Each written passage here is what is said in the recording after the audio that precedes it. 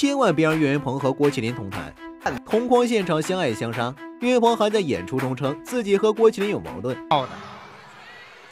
都是因为因为上位嘛，嗯，闹了点矛盾。是。我说给他，我说给他爹弄死。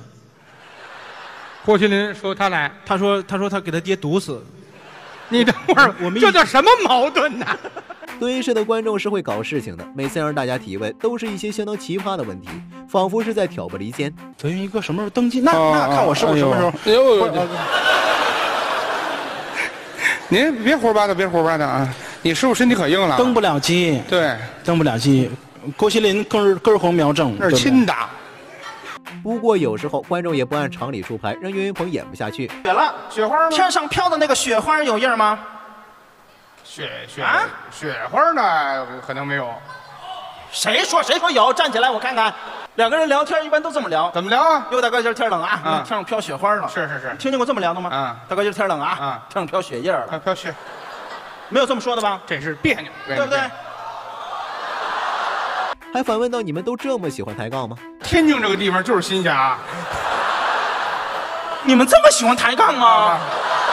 当三个人同台时，老郭和儿子郭麒麟一起献唱，岳云鹏在一旁都羡慕了，这可真是亲爹。儿子，好，我我调门可低，我记着你走，怎么都对，儿子。哎，嗯，亲爸爸这是。你放心，没事啊。好嘞，来。咿呀嘛更儿里呀。月了影儿照花台，真是亲爸爸啊！最有名的是岳云鹏和郭麒麟德云一哥之争。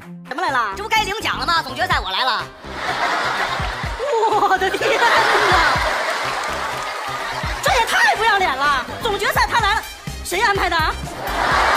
不服气的岳云鹏直接列举出自己给德云社做的贡献。我对德云社是有突出贡献的。你看我啊，我我我为师傅您啊。